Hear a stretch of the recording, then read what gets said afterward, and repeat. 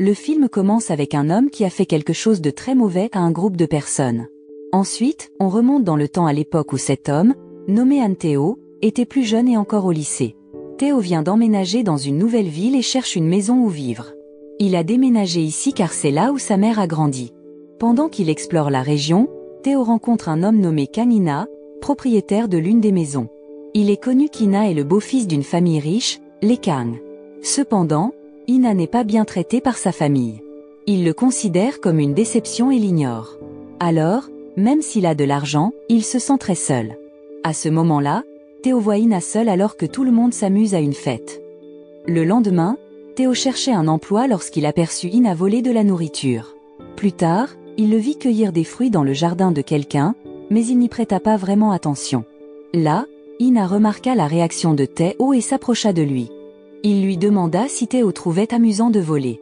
En réalité, parce que la famille d'Ina est riche, les gens du quartier ignorent quand ils volent. Peu après, Théo dit à Ina qu'il faisait probablement cela pour attirer l'attention et lui suggéra de voler des choses plus importantes s'il voulait vraiment que les gens le remarquent. Ina réfléchit aux paroles de Théo, car il semblait différent des autres. Puis, ils découvrirent qu'il était dans la même classe. Le professeur félicita Théo pour être l'un des meilleurs élèves de Corée, ce qui fit que Ina l'apprécia encore moins. Pendant le déjeuner, Ina embêta Théo, ce qui mena à une bagarre. En conséquence, le professeur leur fit écrire des lettres d'excuses, et Ina fut renvoyée de la classe.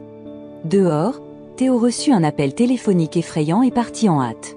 Il retrouva sa mère et la prévint de partir immédiatement car quelqu'un voulait lui faire du mal. Cette personne est le beau-père de Théo, qui les maltraitait autrefois et qui est maintenant en prison.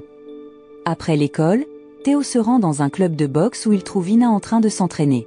Il demande s'ils enseignent des techniques de combat mortel, et Ina propose de l'entraîner s'il peut le battre lors d'un combat. Ils se battent et Ina gagne facilement.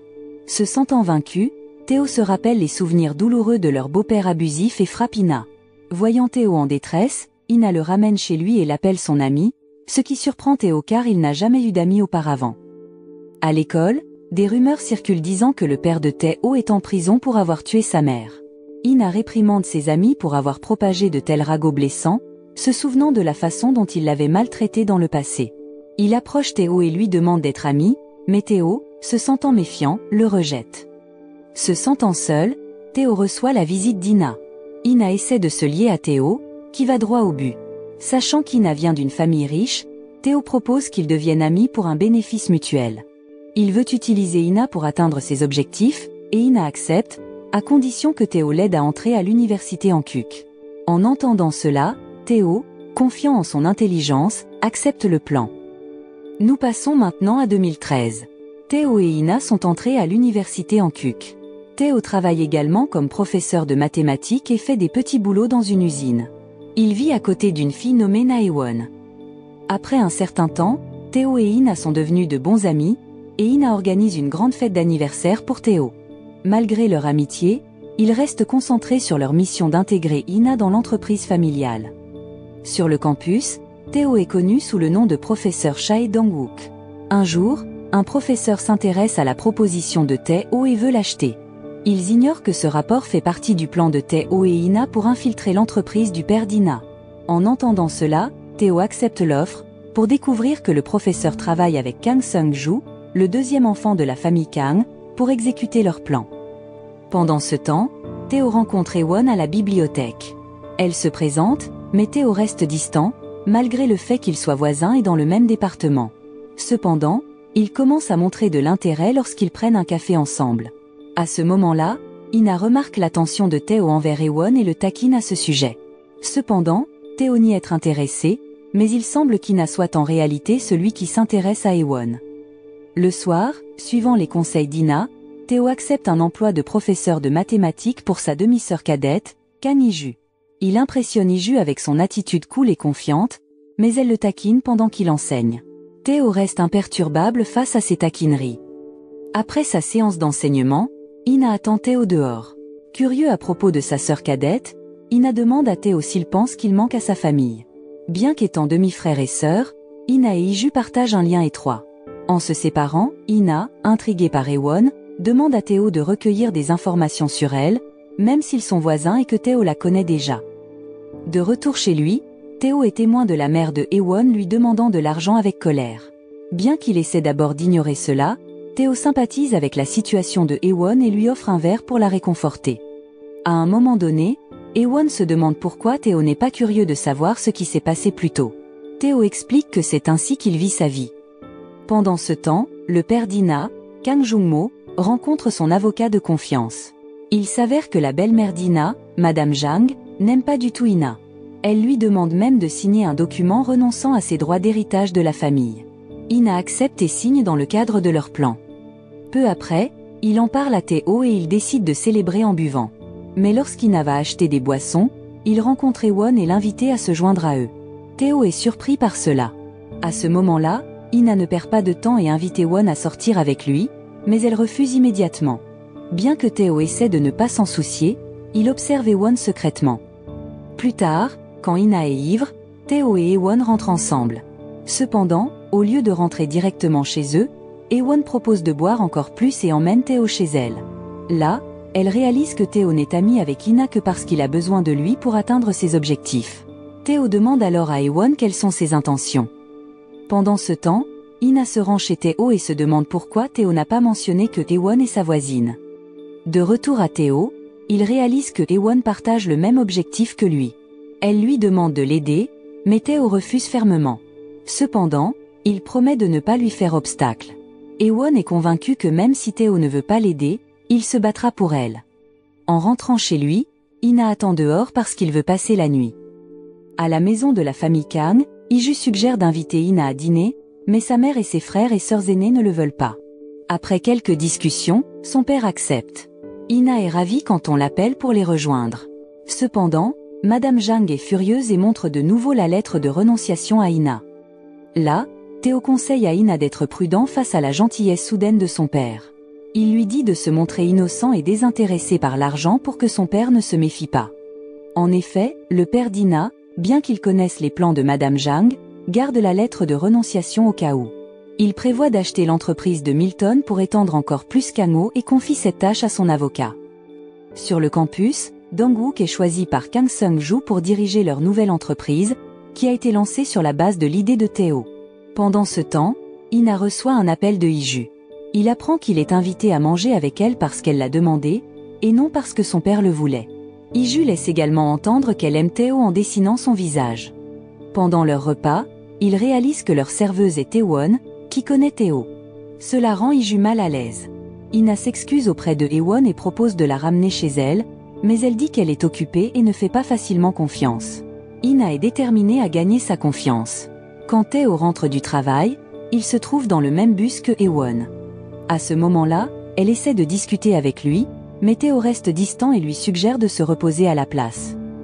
Le lendemain, Ina vient pour dîner, mais son frère aîné, Kaninju, l'insulte immédiatement. En entendant cela, Iju se fâche et défend Ina en confrontant Inju. Cela cause un problème, et Madame Jung rappelle à Ina que sa présence cause des ennuis. Elle lui rappelle aussi sa position dans la famille. Suivant les conseils de Théo d'agir de manière innocente, Ina part. En partant, Théo remarque la tristesse d'Ina et l'approche. Invite Ina à rejoindre leur projet pour restaurer sa réputation, car leur idée commence à prendre de l'ampleur. Pendant le dîner, Iju se fâche contre sa famille pour agir comme si rien ne s'était passé après avoir expulsé Ina. Elle pense qu'il agisse de manière insensée. Son père gronde son frère pour avoir expulsé Ina sans permission, qualifiant cela d'irrespectueux. Iju se fait gifler par sa mère pour être irrespectueuse aussi. Sa mère semble froide et indifférente. Ensuite, sa mère découvre qu'Ina a suggéré que Théo devienne le professeur de Iju et dit à Monsieur Moon de renvoyer Théo. Elle est agacée que Iju se soit enfui et est appelé Théo, qui la rejoint. Iju est reconnaissante que Théo soit venu, mais par accident, Ewon arrive aussi. Peu après, Iju invite Ewon à travailler avec Théo et lui demande de devenir ami avec Ina. Peu de temps après, Ina arrive, et Iju est ennuyée parce que Théo dit qu'elle ne voudrait pas aller avec Ina sans lui. Mais Ewon veut venir aussi puisqu'elle est la voisine de Théo, ce qui surprend Iju. Théo a appris que son contrat avec Iju avait été résilié. Ensuite, il voulait boire et a été approché par Ewon, qui lui a demandé où il serait dans dix ans. Théo a répondu qu'elle serait où elle le voudrait. Peu après, Théo a dit à Ewon de ne pas l'utiliser pour parler à Ina parce qu'elle devrait le faire elle-même.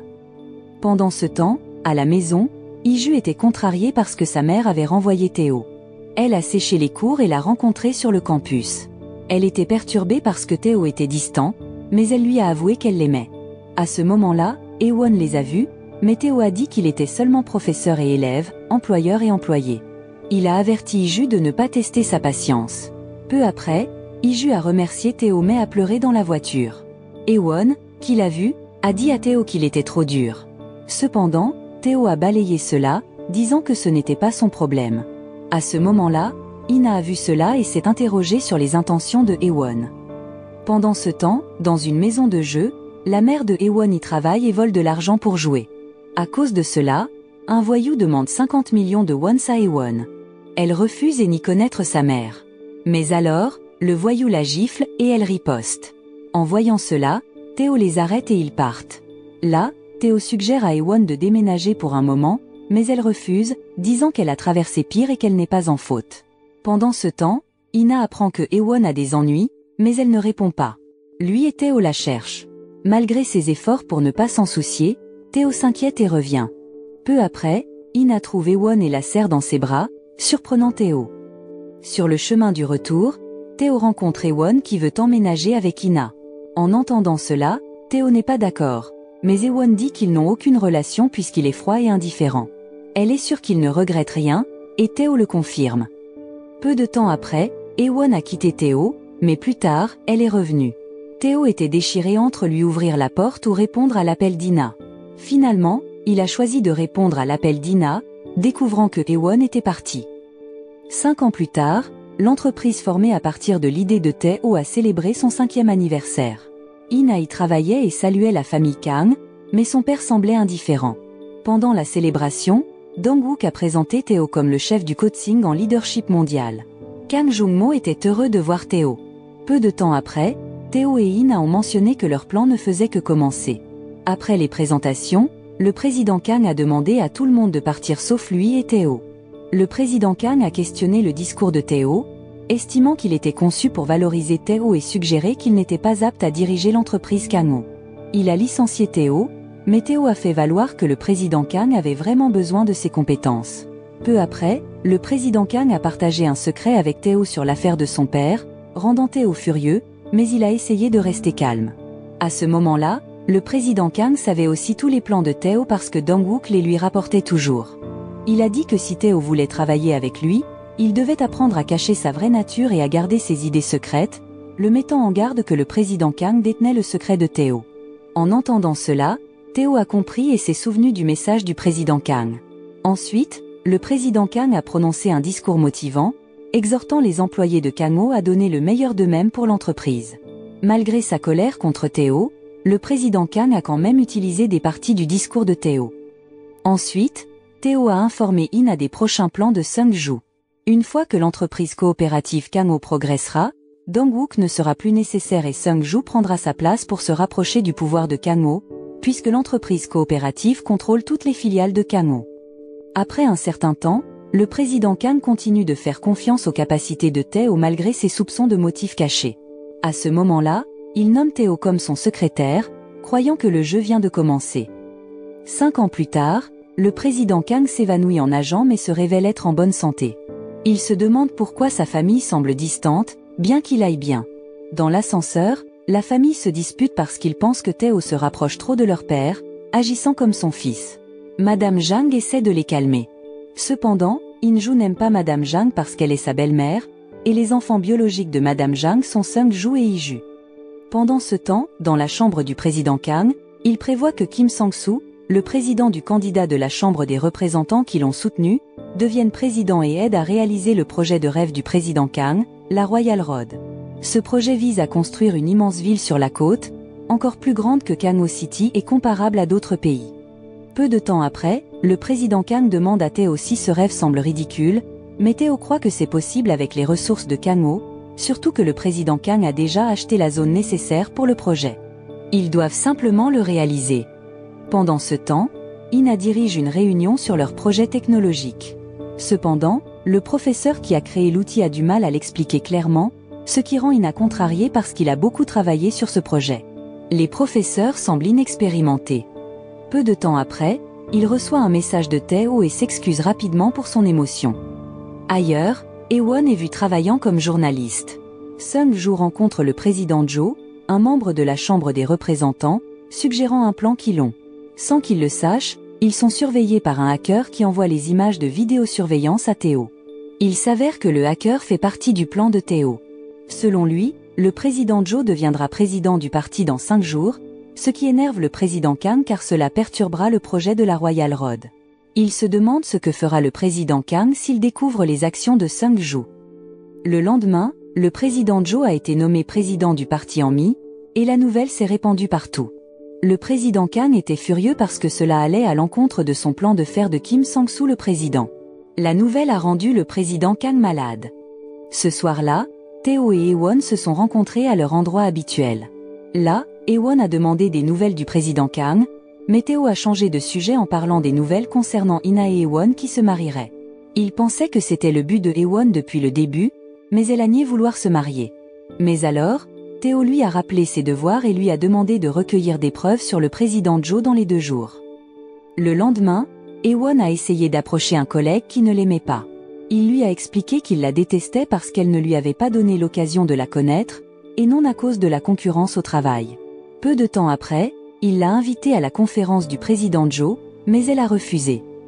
Ailleurs, Iju est contrariée car elle est forcée de se marier avec un homme nommé Ko Chan. Elle parle à sa mère, disant qu'elle ne veut pas d'un mariage arrangé, surtout avec quelqu'un comme Wichan, qui se comporte comme un enfant. Mais sa mère insiste parce que ce mariage aiderait à faire croître leur entreprise.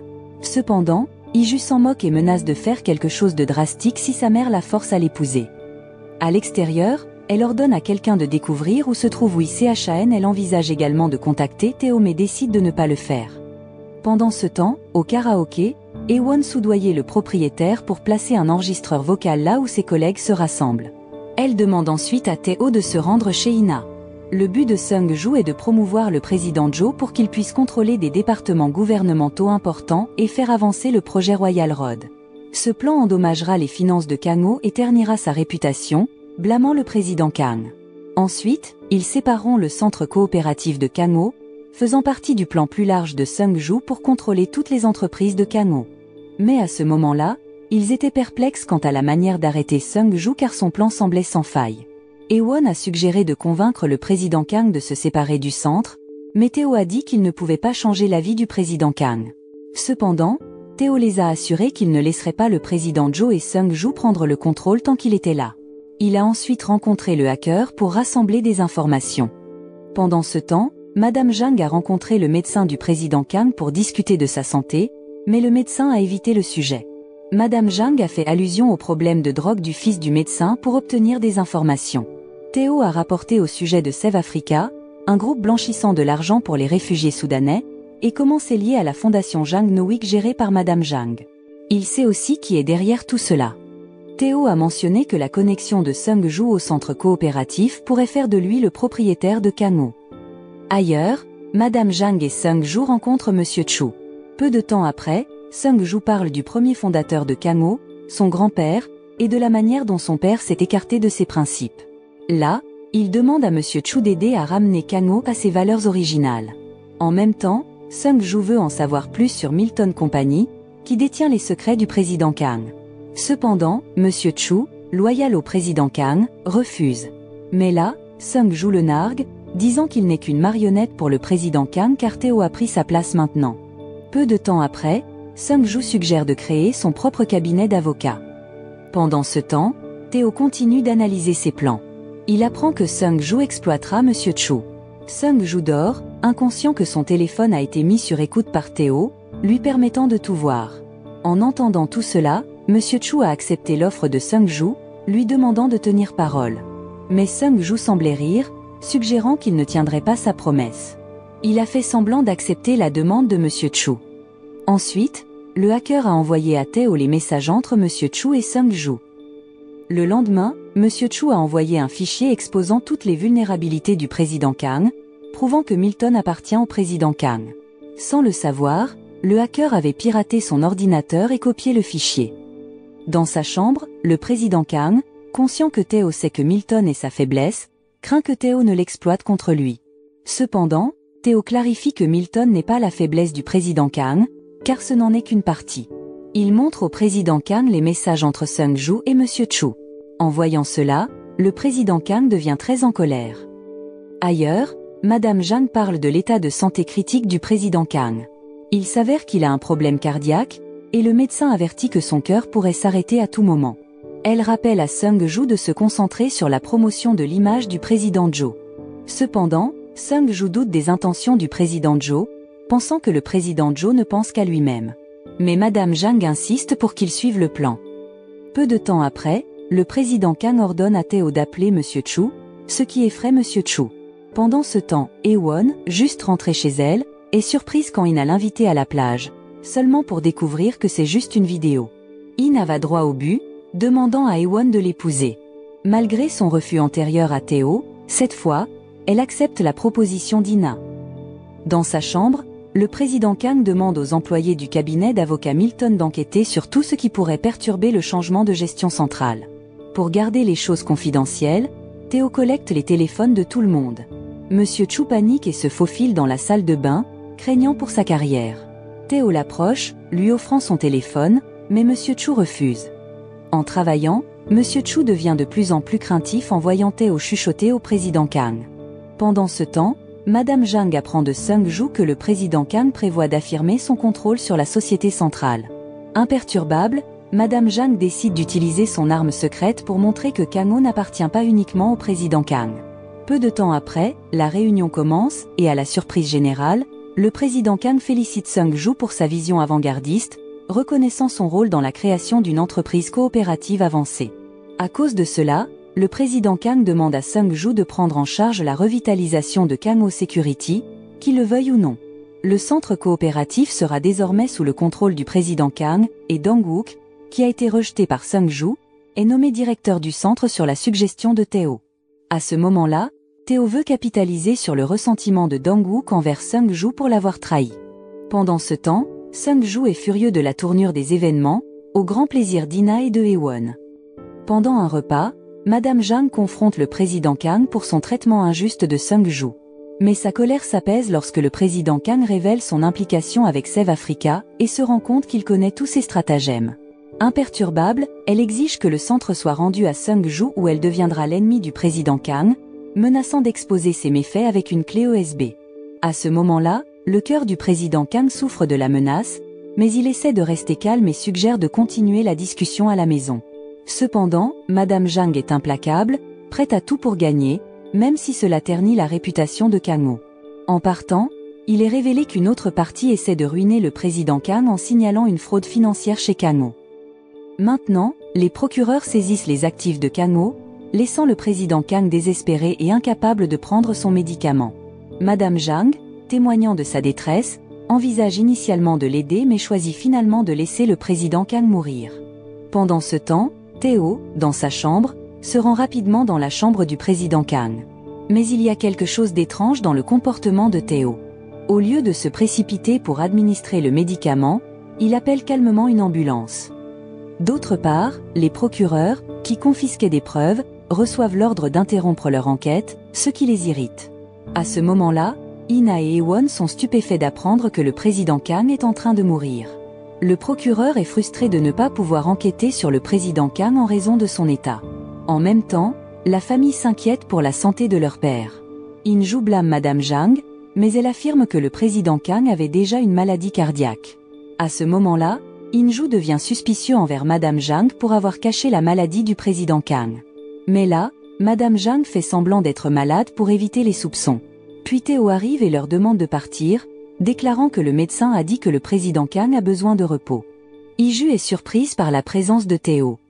Dehors, Madame Zhang reparle du mariage de Iju avec Wei Chan mais Iju refuse toujours. Sa mère lui rappelle qu'elle doit se marier rapidement car son père est très malade. Cela aiderait son frère aîné, Sung Ju. De même, Inju est contrarié par la proximité de Théo avec son père. Mais sa femme suggère que Théo soutienne plutôt Inju en lui donnant un pot de vin. Pendant ce temps, Madame Zhang et Sung Ju ne savent pas qui est au courant de Milton et du président Kang. Madame Zhang pense que c'est quelqu'un de proche du président Kang. Puis, la mère de Sung Ju lui dit de se préparer pour une réunion d'urgence. Le lendemain, Théo reçoit la visite d'Ina, qui le réprimande de ne pas partager ses plans. Ina pense que Théo pourrait le trahir. Cependant, Théo lui assure qu'il agit uniquement dans l'intérêt d'Ina et lui demande de ne pas douter. Plus tard, Théo est convoqué par Inju, qui lui propose un emploi chez lui. Cependant, Théo refuse de travailler pour Inju car le président Khan est encore vivant. Mais juste avant de partir, Théo laisse entendre qu'Inju aurait dû offrir quelque chose de plus attrayant s'il voulait vraiment son aide. Inju demande ce que Théo veut, et il répond en disant qu'il veut tout ce qu'Inju possède, puis s'éloigne. Inju, se sentant irrité, appelle immédiatement son secrétaire. Lorsque le secrétaire arrive, Théo remarque qu'il porte un bâton, qui s'avère être pour le frapper. Après avoir puni son secrétaire, Inju lui ordonne d'espionner Théo pendant les 24 prochaines heures. De nouveau seul, Théo reçoit la visite de Ewon. Elle lui demande ce qu'il prévoit de faire maintenant que le président Kang est en train de mourir et comment cela pourrait bénéficier à Sung-ju et Madame Zhang. Là, Théo dit simplement qu'il attendra, ce qui agace Ewon car elle veut une réponse claire. Peu de temps après, Théo rappelle à Ewon qu'elle ne peut pas lui donner d'ordre car il ne suit que les ordres d'Ina.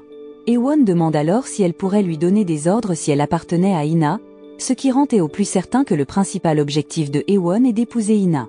Même s'il semblait calme, Théo pensait encore aux nouvelles. Ensuite, il est allé dans la chambre du président Kang et a découvert que le président Kang était en bonne santé. Le président Kang lui a immédiatement demandé s'il pouvait lui faire confiance. Théo a mentionné que le président Kang avait des faiblesses, mais le président Kang soupçonnait que Théo n'avait jamais demandé de cadeau de sa part. Théo a aussi dit que maintenant il voulait demander un cadeau. Le président Kang croyait également que ce n'était pas lui qui avait choisi Théo, mais Théo qui l'avait choisi. Théo a expliqué qu'il prenait des décisions concernant son avenir en fonction de son jugement. Puis le président Kang a demandé qui bénéficierait du plan risqué de Théo. Lorsque Théo a montré une photo de M. Chu et de Sung Ju, le président Kang est devenu très en colère. Cependant, Théo a suggéré quelque chose pour éviter que de tels incidents ne se reproduisent. Ainsi, celui qui a informé les autorités de la situation du président Kang était en fait le président Kang lui-même, suivant les conseils de Théo. Ils ont fait cela pour que le président Kang ne soit plus menacé par cette question. Ils ont choisi le procureur à Myung-jin, un ancien policier qui n'est pas facilement influencé par la corruption. Théo a prévu que le président Kang reste silencieux et agisse comme s'il ne savait rien.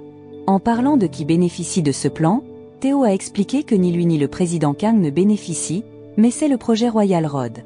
Lorsque le président Kang a entendu cela, il a ri, surpris par la réponse de Théo mais il a quand même demandé quel cadeau Théo voulait. Théo a demandé l'aide du président Kang en cas de crise. Puis le président Kang a demandé quelle était la suite. Théo a répondu, Kanina. Il voulait faire d'Ina un bouc émissaire parce que le président Kang avait besoin d'un successeur de sa famille, mais ne pouvait pas faire confiance à ses deux fils. Il pouvait utiliser Ina et le jeter si nécessaire. En entendant cela, le président Kang a accepté et a demandé à Théo de tout préparer. Il a également averti Théo de s'assurer qu'Ina ne devienne pas avide de pouvoir. Dehors, Théo a reçu un message de Ewon disant qu'Ina avait disparu. Mais Théo a repéré Ina regardant des vidéos de plage, alors il savait où Ina était allée. À ce moment-là, Ewon voulait l'accompagner, mais Théo préférait y aller seul. Il a trouvé Ina à la plage, où des souvenirs d'un incident sombre impliquant sa mère lui sont revenus. Pendant ce temps, ailleurs, Inju a appris que Madame Zhang et Sung Ju prévoyaient de faire de Sung Ju le leader lors d'une réunion d'urgence. Cela a rendu Inju furieux, et il a exigé d'être choisi à la place. Mais Sung Ju a dit que ce n'était pas possible car Inju avait un dossier avec les autorités. Là, Madame Zhang a averti Inju de montrer du respect, mais il l'a menacée, disant qu'elle devait choisir entre être une mère ou une belle-mère si elle voulait éviter le conflit. À ce moment-là, Madame Zhang a envisagé de se débarrasser d'Inju, mais Sung Ju l'a déconseillé, le qualifiant de fou. Le lendemain, Théo a finalement trouvé Ina et lui a parlé de la bonne santé du président Kang. En sachant cela, Ina s'est immédiatement emporté contre Théo pour ne pas l'avoir informé plus tôt, se sentant blessé car il pensait que Théo ne lui faisait pas confiance. Mais Théo a expliqué qu'il essayait d'éviter l'échec et voulait le meilleur pour Ina. Le lendemain, Iju a dit à Théo qu'elle voulait l'épouser, mais à sa grande surprise, Théo a accepté. Il a demandé s'il devait supporter d'être maltraité et rêver d'être le mari de Iju. Il l'a exhorté à arrêter de penser comme une princesse de conte de fées. Iju était contrariée, demandant si elle ne pouvait pas rêver et aimer, et a juré de rendre ses contes de fées réels. Théo l'a averti de ne pas l'entraîner dans son conte de fées, mais Iju a insisté qu'elle pouvait le faire. Avec beaucoup de choses en tête, Théo est retourné écouter la chanson préférée de sa mère. Le lendemain, une réunion urgente a eu lieu. Madame Zhang a dirigé la réunion à la place du président Kang et a nommé Sung Ju à la tête du groupe Kangho. Pendant ce temps, un hacker a ciblé le compte de titre de Kangho, géré par Sung Ju. Le hacker a attaqué le site et causé des dommages importants à la société de titre de Kangho. D'un autre côté, Sung Ju et sa mère, qui célébraient initialement leur succès, ont été choqués d'apprendre la panne du site et les pertes que cela a causées. Sung Ju était furieux et confus sur la manière de tout réparer, surtout avec les procureurs qui les poursuivaient. En même temps, Théo continuait à informer le président Kang de la situation, tandis qu'Inju se réjouissait des problèmes de Sung Ju. Le soir, Ina a rencontré le président Kang. Il s'est avéré que le chaos chez Kangho Security avait été orchestré par Ina comme cadeau pour son père. À ce moment-là, le président Kang a reconnu que chaque action avait des conséquences et a demandé ce que voulait Ina. Ina souhaitait simplement que son père le reconnaisse publiquement comme son troisième fils, Kang Ina, le fils de Kang Jungmo. À ce moment-là, le président Kang était content parce qu'Ina montrait du respect pour le nom de la famille Kang. Cependant, Ina a expliqué qu'il savait qu'être un Kang n'était qu'un titre, mais il désirait une reconnaissance véritable. Il voulait que son père l'affirme publiquement comme le fils de Kang Jungmo, et il a insisté pour que ce soit le président Kang qui le fasse. Le président Kang a alors remis à Ina un accord à lire et à signer s'il était d'accord. Ina a également demandé ce qui se passerait s'il refusait. Le président Kang a répondu qu'il ne se verrait plus jamais. Ina a signé l'accord. Pendant ce temps, Sung Ju était toujours poursuivi par les journalistes. Madame Zhang a été choquée par la visite inattendue du président Kang et était furieuse d'avoir été trompée par lui le président Kang a affirmé que personne ne pouvait le tromper. Sung Ju, arrivant juste à ce moment-là, était confus par les actions de sa mère. À la maison, le président Kang a ordonné à M. Moon de préparer le dîner. Après une longue attente, Ina est enfin devenue membre de la famille Kang. Madame Zhang, mécontente, est partie rapidement. Le lendemain, le président Kang continue de feindre la maladie en public, et Ina est celui qui pousse son fauteuil roulant. Lorsqu'Ina appelle pour la première fois le président Kang père, tout le monde est stupéfait. Le film se termine. La leçon morale de ce film est que ce n'est pas parce que vous faites semblant d'être malade que votre enfant ne vous mettra pas sous les feux de la rampe. Soyez toujours prêt pour des moments de rapprochement familial inattendu, même si cela signifie se faire pousser un peu.